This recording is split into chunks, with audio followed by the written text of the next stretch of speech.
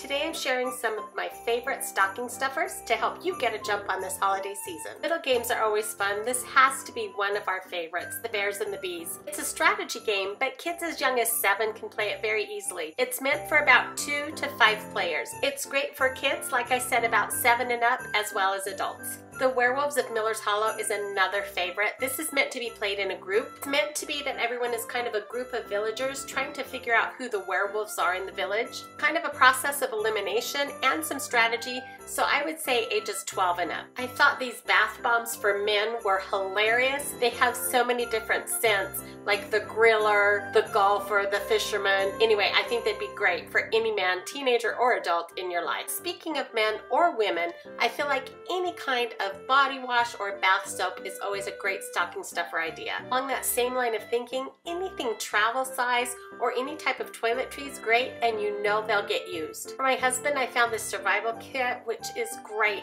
He can keep it in our side-by-side -side or in his truck, like when we're out hunting or just exploring in case we get a flat tire or get stuck somewhere, we've got some tools to help us. Also, I think these homemade hot cocoa bombs are super fun and easy. Here's how I make them. You'll need one of these silicone molds, I'll link it below. Just put these in a glass container in the microwave and microwave them until they're completely melted, stirring about every 30 seconds. I use about a tablespoon of hot cocoa in each bomb. You'll also need some cupcake holders and some mini marshmallows and any other small little candies you want to put inside. I put the chocolate into the silicone baking molds and then kind of spread it around with the back of a spoon. You don't want it too thick. Thin is better the chocolate is set, just pop it out of the mold. On your stove top, on low heat, swirl around a chocolate bomb until the chocolate melts just a little bit. Fill this half of the shell with your hot cocoa, your mini marshmallows, and whatever else you want to put inside. Melt the edges of another half and then press those together and smooth around the seam.